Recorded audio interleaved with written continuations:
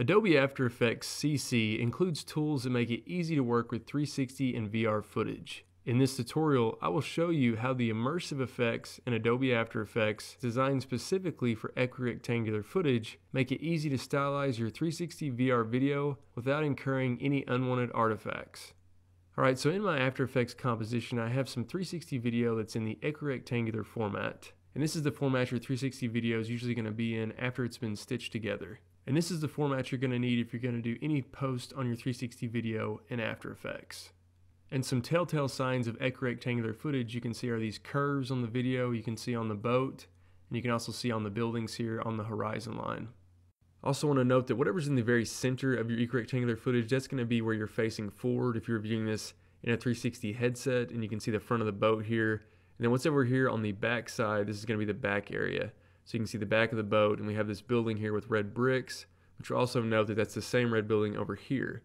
So this would be the back seam of our 360 footage. Around the horizon line is the least amount of distortion that's visible on our video, but as you get closer to the top and bottom poles, there's going to be more noticeable distortion because of the curvature. It's important to note that most traditional effects in After Effects are not compatible with 360 footage. And just to demonstrate that, I'm going to apply a Gaussian blur to this footage. I'm going to select the blur and just apply it. And I'm going to come over here and increase the blurriness. And I'm also going to turn on repeat edge pixels. And the reason this isn't compatible is because over here on this back seam line, After Effects with these traditional effects does not know that these two areas are going to be connected. So if we look at this from a first person POV, we can look at the back area here and you're going to see a noticeable seam line that's giving us some artifacts. And again, this is a result of using an effect that's not created specifically for VR. However, After Effects does have some VR immersive effects that are created specifically for VR footage. So I'm going to come up here to the effects and presets panel and a quick way to toggle all those is just to type in VR and you're going to see a full list of the immersive video effects and all of these are compatible with equirectangular footage. So let me go ahead and apply the VR blur effect to our 360 video and I'm going to come over here and increase the blurriness again. And now if we look at this in a POV view, if we look at the back area of the seam, we're not getting any artifacts or a visible seam line. And that's the difference between a traditional effect and a VR effect.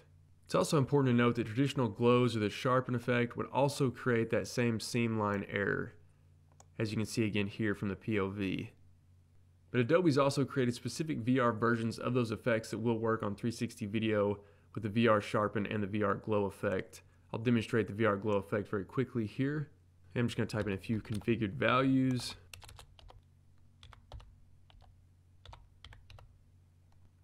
And now if we look at this in a POV view, we get a nice glow effect on our footage again with no artifacts on the back seam or at the top and bottom pole areas.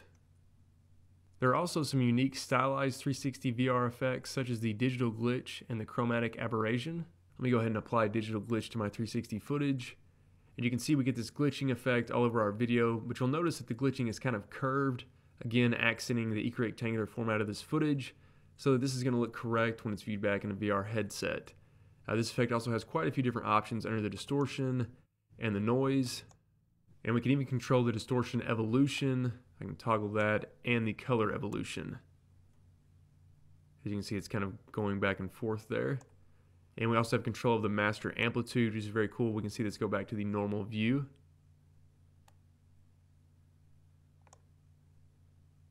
Let's take a look at the VR chromatic aberration effect and you can see we're getting some chromatic aberration on our 360 footage, much like you would see on traditional footage. However, in 360, it's a little bit more complicated because everything is visible and there has to be an area where the chromatic aberration is at its most and where it's at its end.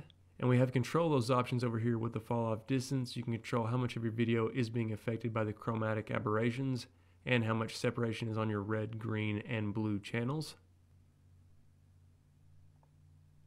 And as you can see in this POV view, we can get some very unique looks using the chromatic aberration effect. Finally, I want to show you the VR fractal noise effect. I'm just going to drag and drop that on my 360 footage. And this is very similar to the fractal noise effect you're used to in After Effects.